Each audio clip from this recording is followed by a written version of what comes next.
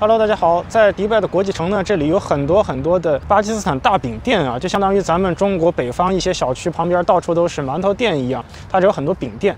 巴基斯坦人做饼很有一套啊，今天我们就去他这个大饼店看看这些师傅他能做出来什么样的花样。走吧，我们就在后面看一看。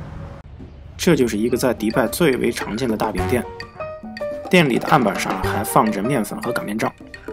我拍摄的时候是下午四点，因为还没有到饭点，所以店里还没有正式开工。但每到傍晚的时候，在大饼店门口，周围的居民就会排长长的队伍来买饼。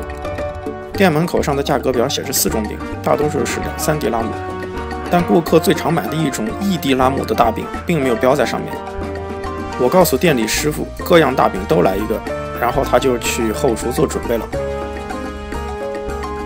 现在师傅做的是茴香芝麻饼，在饼皮上刷满调好的酱料和食用油，然后就把整张饼放进了烤炉。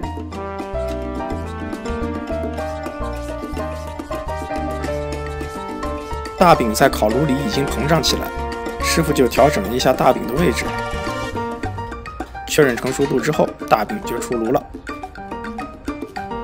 然后师傅就着手准备制作第二种饼。他没有把面团擀成圆形，而是做成长条状。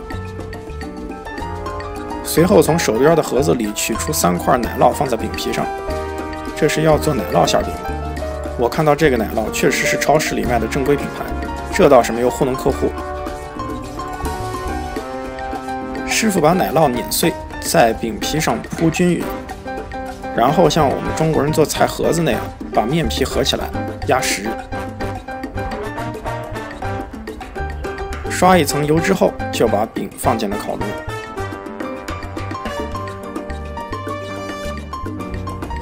第三个就是周围居民们最常买的普通大饼了，换算成人民币一块八一张。做饼的手法和披萨类似，擀两下面团之后，就要把饼甩来抛去，保持弹性和轻薄。得嘞，进烤炉了。饼放进去没两秒钟，就开始迅速膨胀。浓烈的麦香味儿也从烤炉里涌出来。师傅拨了拨大饼，确认好火候，就用铲子把它取了出来。从进炉到出炉不过短短十几二十秒钟。Thank you. I'll finish.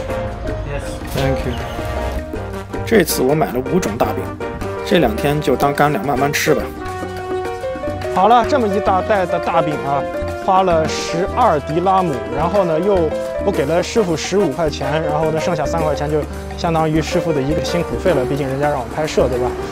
呃，好，我们回家品尝一下这种大饼吧。第一种奶酪馅饼，第二种一块八毛钱的大饼，第三种土豆泥馅饼，第四种原味大饼。第五种茴香芝麻大饼，来个大合影，跟我的手比比大小。好，那么现在就开始尝一尝这个大饼吧，动起手来。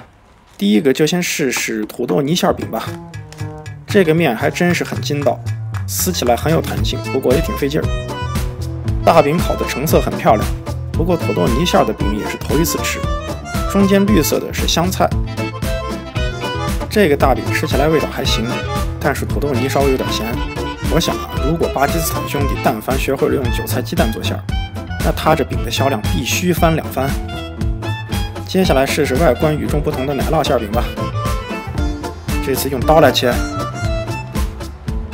这个饼外观很漂亮，不过切开横截面似乎很难看出奶酪馅的存在。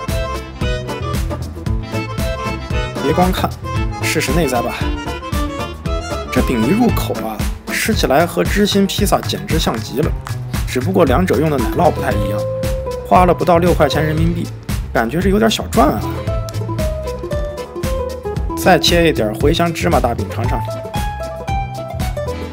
这个味道忽然让我回想起来我们宁夏银川一些早点摊卖的饼一模一样。这个原味大饼除了没有馅之外，和前面几种饼一样，也就不再赘述了。最后就是人民币一块八毛钱的饼，跟毛巾似的。然而稍微凉一点就挺难撕开，太筋道了。我还是喝汤的时候再吃吧。况且这个饼一般也是蘸着咖喱吃的。本场的 MVP 就是奶酪馅饼了，能当点心吃啊。